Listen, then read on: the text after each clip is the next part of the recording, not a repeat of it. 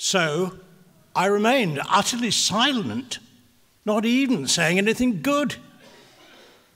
But my anguish increased. My heart grew hot within me.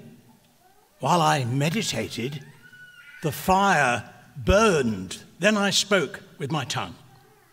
Show me, Lord, my life's end and the number of my days. Let me know how fleeting my life is. You have made my days a mere handbreadth.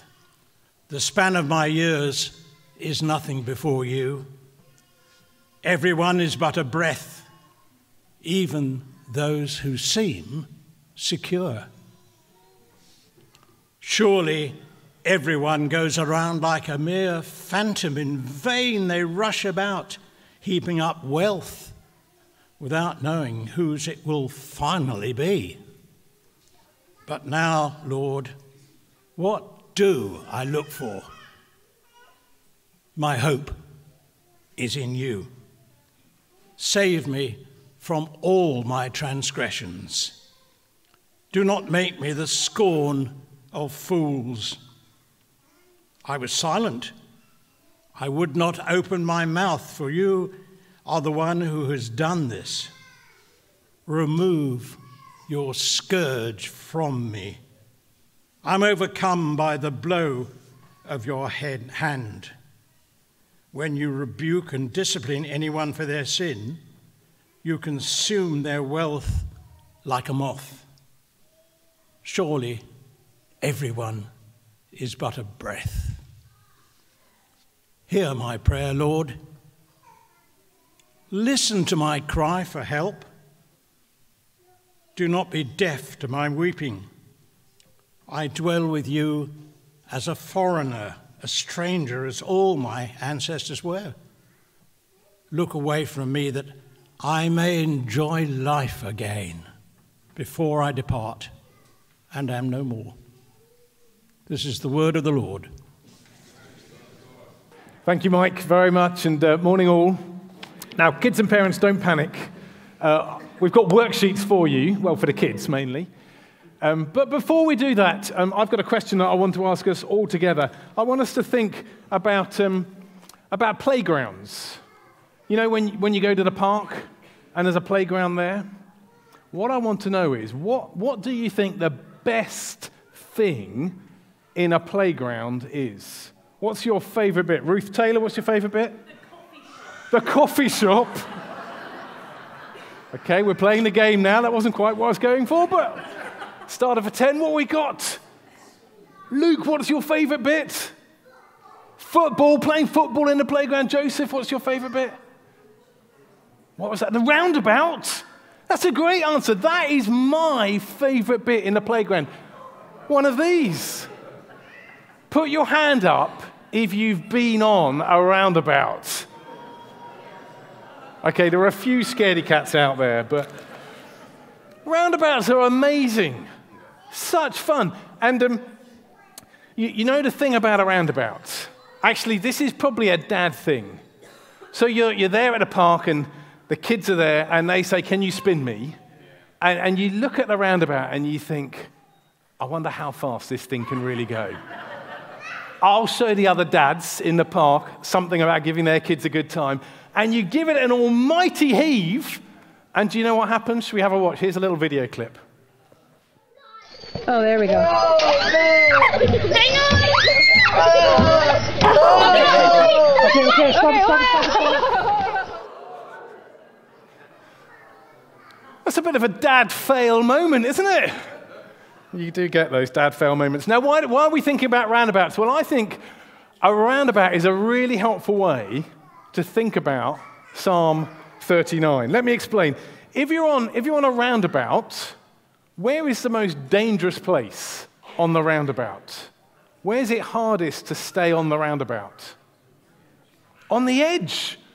On the edge of the roundabout, you have to cling on really tight. But if you're determined to stay on the roundabout, you want the place of safety. Where do you go on the roundabout for the place of safety? The middle, not the coffee shop, the middle. the middle of the roundabout is the place of safety. Now, I think that pattern helps us understand Psalm 39. So we're thinking about roundabouts. And actually, kids, you've, you've, got a, you've got a memory verse in your worksheet to learn. We'll think about that right together at the end. So see if going to have learnt it by the end. But roundabouts, dangerous on the outside, the place of safety and security is in the inside. And that's what we're going to do with Psalm 39. We're going to start at the outside and we're going to journey inwards. And, and we're going to see that on the outside of the roundabout, we've got struggle, we've got life is hard. And then as we move towards the middle of the psalm, we're going to see wisdom, that life is short. And then as we get right to the center of the psalm, we're going to find hope and God is there. Those are the headings. I've put them on the back of the service order if that's a help to you as we look at this psalm together. We're going to begin with struggle, life is hard. And we're at the outside of the psalm. We're looking at verses 1 to 3 and then verses 12 and 13. And as I read these verses again, just have a listen and, and hear David's honesty. Okay, this is King David who, who wrote the psalm, probably right at the end of his life. He, he has been a great king. He was a fantastic military leader, strong and powerful man, but now at the end of his life, his body is failing him. There's, there's feuding all around him. His enemies seem to be prospering. His life is a struggle. And as he looks at his difficulties, King David writes these words, verse 1. He says, I said, I will watch my ways and keep my tongue from sin. I will put a muzzle on my mouth while, presence, while in the presence of the wicked. So I remained utterly silent, not even saying anything good. But my anguish increased. My heart grew hot within me. When I meditated, the fire burnt. Then I spoke with my tongue. You can hear the frustration, can't you? Here is a man who's desperate to say something, but he's trying to control himself. He knows he shouldn't. He doesn't just want to blurt out these raw emotions. So he's saying, No, put a muzzle on it, David. Keep quiet. Don't, don't dishonor God with your rantings. But by the time we get to verse 12, he, he can contain himself no longer. Have a look, verse 12. He says, Hear my prayer, Lord. Listen to my cry for help. Do not be deaf to my weeping. I dwell with you as a foreigner, a stranger as all my ancestors were. You can hear the anguish, can't you? But it's, it's these words that have troubled me most. Look at verse 13. This is David crying out to God. He says, Look away from me, that I may enjoy life again before I depart and am no more. Now, this is King David. He's a good guy. Okay, he's the best king Israel ever had. But here at the end of his life, right, right in the, the midst of painful struggles, he's telling God, get lost, get lost. He's saying, look away from me, God. Let me enjoy life without you before life ends. Literally, he's saying, look away from me that I might brighten up, that I might smile before I go and am not. Psalm 39 does not have a happy ending. In fact, look down at verse 10. D- D- David is very clear here in who he's blaming. Verse 10, he says to God, Remove your scourge from me. I'm overcome by the blow of your hand. Now, here's a scourge. This is, this is what a scourge is.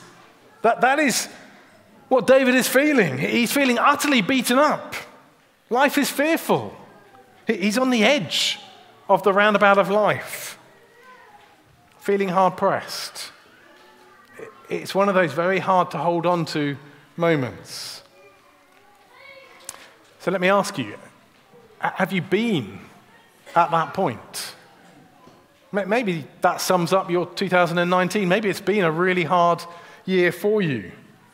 I know that is true for some of us here. It's not always clear that God's been on your side. Maybe that, that's how you're feeling right now. Well, if that's you, notice the encouragement here. God has captured these words to you in His words. Now, I think that, that is pretty extraordinary. If you, if you think through what you've got here, ask yourself if you were God, would you include these words in your words? Because this is your greatest king. This is King David. Okay, he's meant to be a fan of you. And he's ranting at you. He's complaining that you're worse than useless. He's saying life would be better without you, God. You, you, hear that? You sort of want to say, God, why did you put these words in the Bible? Well, I can only think of one reason why God put these words in the Bible. And that is because God wants us to know that He knows. He wants us to know that He knows that life hurts, that He knows that life is hard. You see, God is not blind to our pain. God is not pretending that life is easy.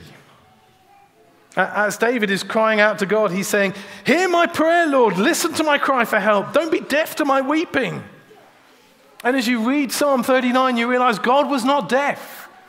He heard those words, He captured those words to say to each one of us, I hear your cries of pain. And actually, as he, as he captures these words, he's encouraging us to cry out to him. See, God doesn't want us to, to wrap him in cotton wool. He tells us, cast our burdens onto him. Tell, us his, tell him our struggles. You can tell God. Christian believers don't need to pretend that life is easy. We, we don't need to walk around with a fake smile, pretending God sorted everything out. Life's a doddle. That's not the way it works. But as we see this, we want to ask well, where do you go? When, when, you're on the edge of the roundabout, when you're clinging on, where do, you, where do you go when life is crazy tough? Well, the psalm encourages us to step inwards. And as we move towards the center, we're going to see wisdom. Life is short. Wisdom, life is short. We're looking at verses 4 to 6 and 9 to 11 here. I'm going to reread these verses. Listen, as I read them, listen to the repeating theme in these verses. Verse 4, follow with me. Show me, Lord, my life's end and the number of my days. Let me know how fleeting my life is. You have made my days a mere hand's breadth. The span of my years is as nothing before you. Everyone is but a breath, even those who seem secure. Surely everyone goes around like a mere phantom. In vain they rush about, heaping up wealth, without knowing whose it will finally be. And then, verse 9 David says, I was silent, I would not open my mouth, for you are the one who has done this. Remove your scourge from me. I'm overcome by the blow of your hands. When you rebuke and discipline anyone for their sin, you consume their wealth like a moth. Surely everyone is but a breath. Do you hear the repeated refrain? Surely everyone is but a breath. But a breath. Now, I've been doing a bit of research, a little bit of Googling. The average breath takes four seconds.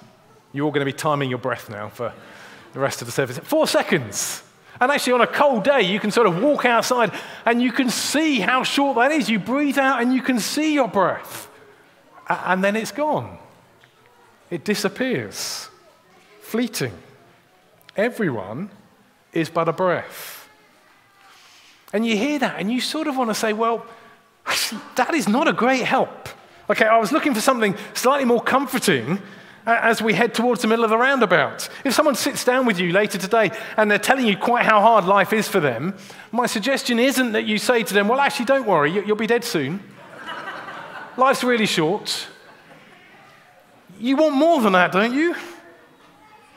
But actually, as I've sat with this psalm, as I've tried to work out why this order of things, here's what I started to see. These verses, as we head towards the middle, they are not the place of safety and comfort in the psalm, but they are the route to safety and comfort.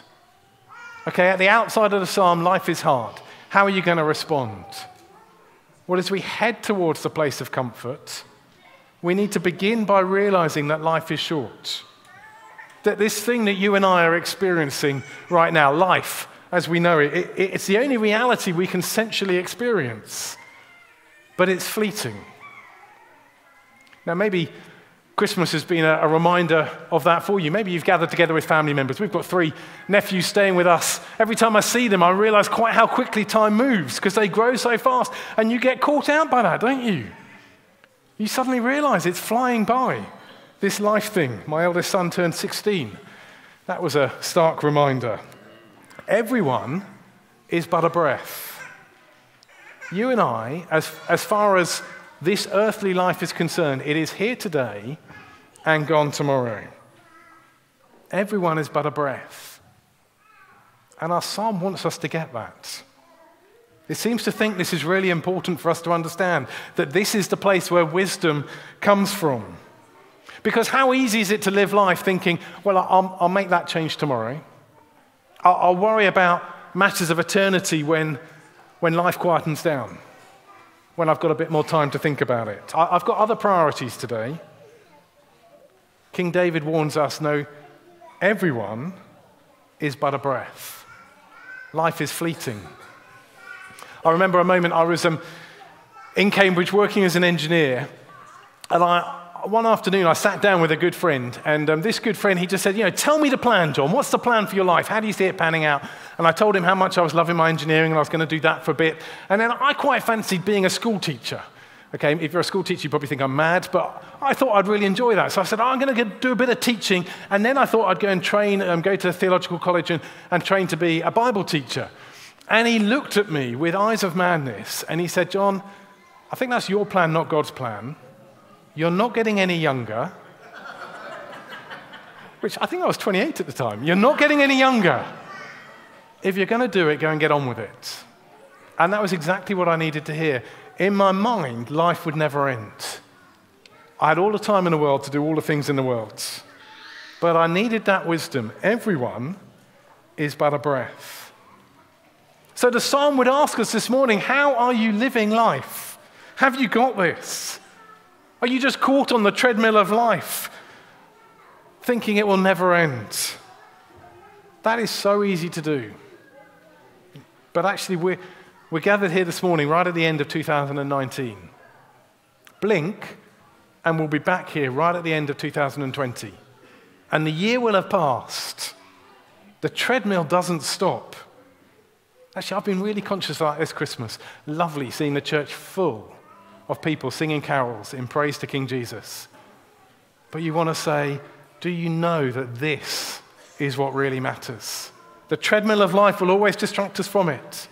This is what really matters. David says, Surely, verse 6, surely everyone goes around like a mere phantom. In vain they rush about, heaping up wealth without knowing whose it will finally be.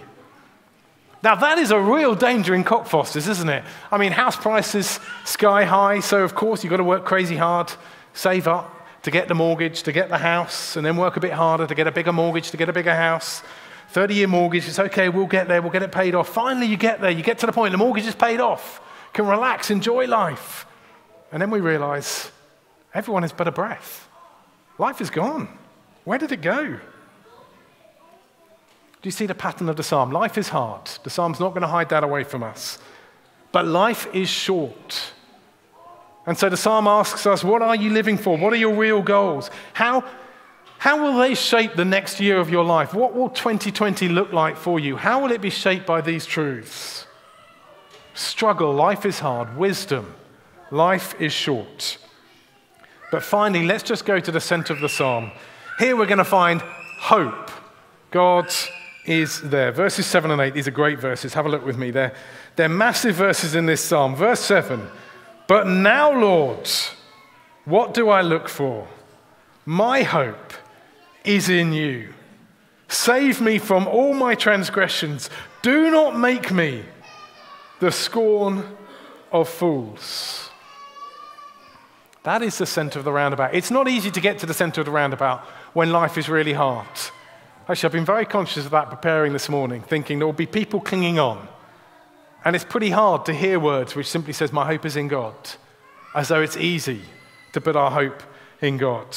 But, but actually, the way this psalm is written, it's urging us to pull ourselves in towards the center, to recognize the shortness of life, that what we see now is not the eternal reality. There is more. and then to see the hope. David says, But now, Lord, what do I look for? My hope is in you.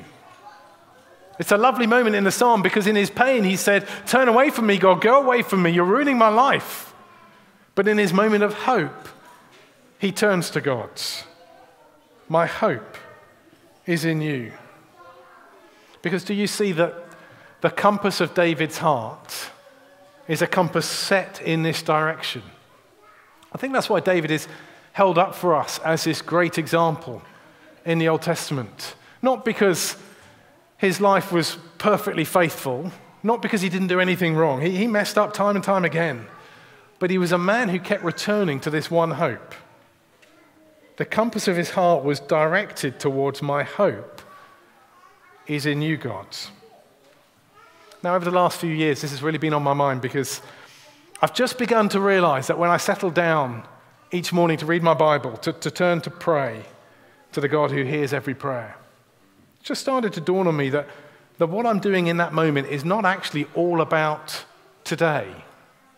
It's not all about that moment.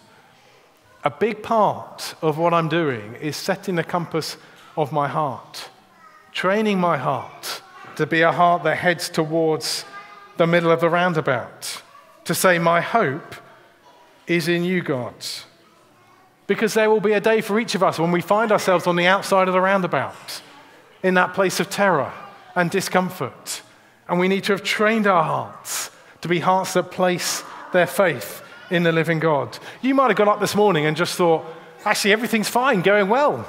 I, I don't really need you very much today, God. Don't, can't think of anything to pray for. Not sure I really need my, my spiritual top up from church. Easy to get caught in that mindset, but, but Psalm 39 is, is given to us to say, no, prepare your hearts for the day of disaster. Teach your heart in every situation what it looks like to turn to God, to know humble dependence on Him because the day will come, even for those who stand secure. Everyone is but a breath. And we want to share David's hope. In fact, the brilliant thing here is you and I can go beyond David's hope. So, David's hope was based on the character of God. He, he knew God was a faithful God, same God, same character for us. But actually, for you and I, wonderfully, God has made his character even clearer. Because right at the center of the roundabout for us is the cross of Jesus Christ. When David says, Save me from all my transgressions, that, that is the cross of Jesus. When David talks about the scourge, well, Jesus was the one who was scourged for us. That, that was the cross of Jesus, where God Himself, in the person of Jesus, stretched out His arms and He died for you and me and he said, I know that life hurts. As you look at the cross, you can't deny that God knows your pain. But three days later, the empty grave. David never knew about the empty tomb, but, but you and I do, and it promises us this life is fleeting, but new life, everlasting life, that is what we're living for. That is the ultimate reality, not this. So Psalm 39 is, is simply saying, look, will that be your hope? Will these truths be the truths that shape your 2020? Will it be a year where you are determined to teach yourself each day? My hope is in you, God. That's the memory verse the kids have been learning in their booklets. Psalm 39, verse 7. But now, Lord, what do I look for? My hope is in you. Those would be great words for us to commit to memory for 2020, to remind ourselves each day as we seek to train ourselves to put our hope in God. I'm going to pray. Um, actually, I'm going to invite the musicians back up, and then I'm going to pray, and we'll go straight into song. We need God's help, don't we? Let's, um, let's pray to Him together.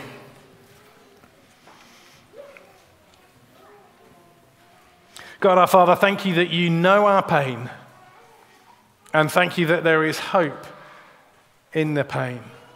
That as we look at our lives, as we see the fleetingness of them, as we feel despair from our hopes not working out the way we want them to, Please, God our Father, help us to train our hearts to put our hope in you. And I pray that for us as a church family too, Lord, that we would be a church encouraging each other in these truths. That when times are hard, we would not be shy of pointing each other to the eternal hope that you have given us in Jesus. In his name we pray. Amen.